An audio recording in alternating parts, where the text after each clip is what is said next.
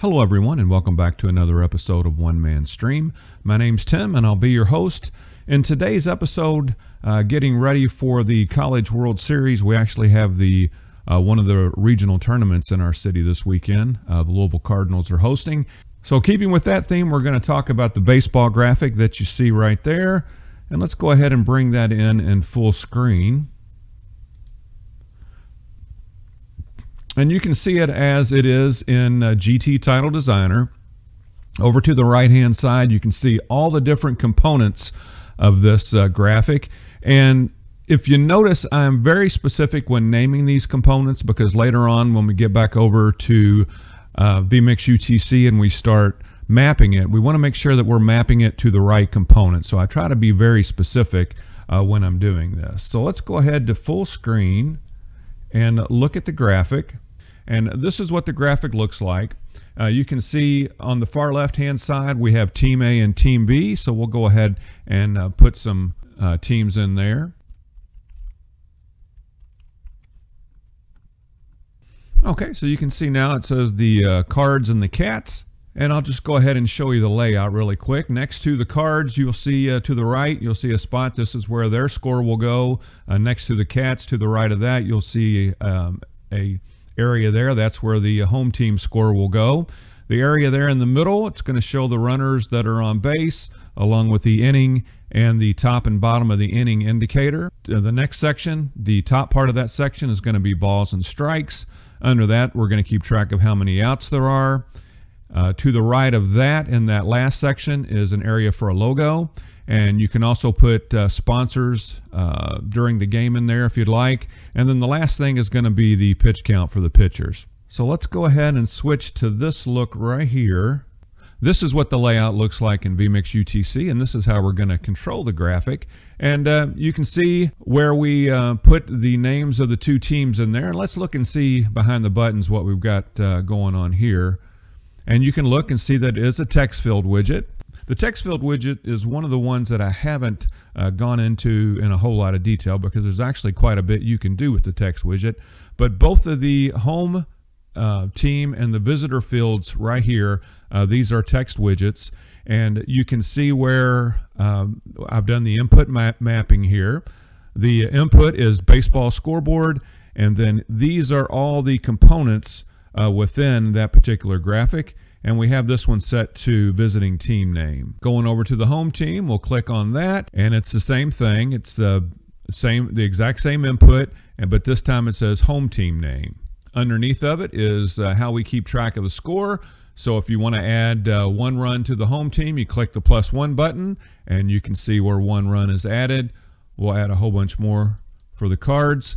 And then over for the cats, um, this is where you control the score for the cats right here, which is the home team. And then you just click on the plus one button and it's going to add one. If you go down here to the bottom where it says clear score, if we click on that, it should set them back to zero and it does.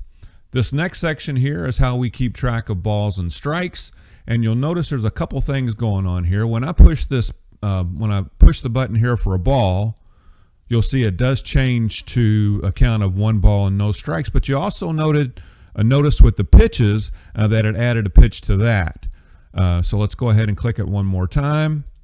Now it's two balls and no strikes. It is tallying the pitches, and that's the second pitch. Let's go ahead and add a strike. It did add a strike and it added one more pitch. So let's go ahead and make the count uh, full. We'll add another ball. We'll add another strike. And the reason for that is we have another button right here that says uh, foul ball. So if you have a long at bat, uh, you want to make sure that the you are getting the correct number of pitches for the pitcher. So at, at this point, with it being a full count, anytime after this, uh, there would be a foul ball, you would click foul ball and it adds uh, one more pitch. We'll click it again and it adds one more pitch. Now you're going to have times during the game where you're going to have a, um, a, a, hit or an error, and sometimes you have to wait on that for the official score, and then maybe a pitch or so later you'll see it on the on the scoreboard there at the field that it's been given a hit or an error. Error in this case, we're going to go ahead and click on hit, and you can see it takes away the logo and puts in hit, but it does add a pitch. Since that ball was put in play, we still need to count that as a pitch. And then over here for error, we'll do the same thing. We'll click on that button. Takes away the logo. It brings an error. And I believe it accounted for the pitch, but let me uh, click it one more time. Yes, it does account for the pitch. So let's take a look at these buttons. For foul ball, what we've done is this says execute link, and then the link for this is add pitch. So let's go up here under pitches, and you can see we do have a few of these text, uh, tick boxes uh, checked. One's for reset, and the link for that is clear pitches.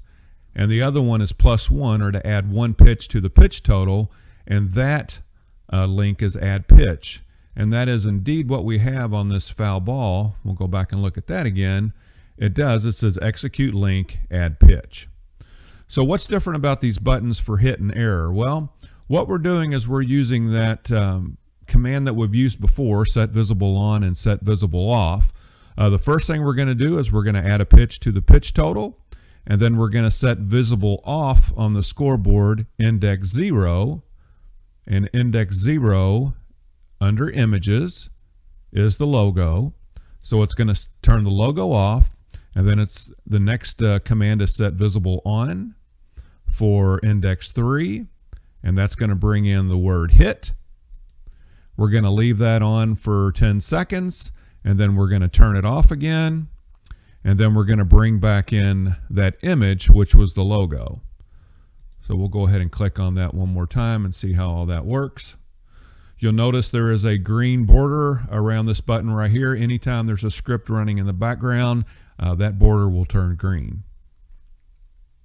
So you also have some other instances where you have uh, a wild pitch. It still counts as a pitch, so we'll go ahead and click wild pitch. You can see the number changes to 12 pitches, and it also takes that logo out and brings in wild pitch. Same thing for a pass ball. Uh, sometimes you have to wait on the official scorer's ruling for that. Uh, we want to make sure that that is tallied as a pitch, and uh, then it will pop up whether it's either going to be a wild pitch or a pass ball.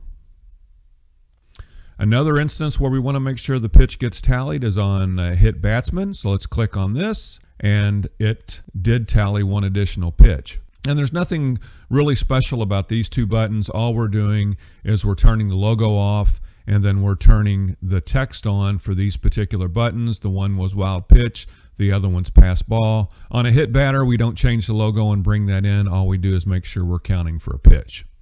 So this next button here we have is a home run. Let's go ahead and click on that. You can see that does count as a pitch. It's, it's a pitch the pitcher wishes he could have back, but it's a pitch nonetheless. The pitch tally goes up to 15. The word home run comes in, stays in for 10 seconds, and then it brings the logo back in. We have a button here to clear balls and strikes. Well, before we get to that, let's take a look behind the ball and strike buttons. Here we have a couple of the tick boxes tick for reset and plus one. Under the reset, it says clear balls, and under the plus one, it says add ball. And then you can see where it was mapped to. It's on that portion of the scoreboard. It's mapped to the one that says balls. Under strikes, same thing. We have a couple tick boxes checked. When we reset it, it's going to clear the strikes. And when we uh, activate it, it's going to add one strike. And then let's look under this where we clear balls and strikes. We're going to execute a couple links. The first link is clear balls. The second uh, link uh, that we're uh, executing is clear strikes. So let's go ahead and click on that and see what happens. And it does. It sets our balls and strikes back to no balls and no strikes. This right here is going to allow us to keep track of the outs. Let's look at this button here. Again, a couple tick boxes check. The reset button is clear outs. The plus one button is add one, uh, uh, I'm sorry, is add out. So let's click this button. You can see where one out was added. We'll click it one more time. The second out is added. At the end of the inning, when the third out is tallied, we'll go ahead and reset the uh, outs. We'll click on this button right here and it takes it back to zero. So let's look at the out, uh, the out button. Execute link, add out, and we got the add out from this button right here. When we click it, when, it, when we execute the link to add, to add out, it's going to add one to our outs tally. Look behind the pitches button. Again, we have two of the tick boxes ticked. Under reset, Uh, that link is clear pitches. And under add pitch, we're going to add one pitch to the total under the plus one. If we miss a pitch or whatever, or we need to go back and correct it, you can do it by these buttons right here. That'll down button, uh, the down arrow takes one away, the up arrow adds one. And then when we want to clear it, we're going to use that uh, link that we added in there. We're going to execute the link, and then that link is going to be clear pitches. So let's see if that works for us and it does. It takes the, the pitches back to zero. This button right here, this is a list widget, and I manually added all the uh, innings in. I just went from the first to the 12th, but uh, if you've seen me do these tutorials before, you know if you click this plus button right here, uh, you can add uh, something in on the fly. So we're going to go ahead and do that and adds an available line at the bottom.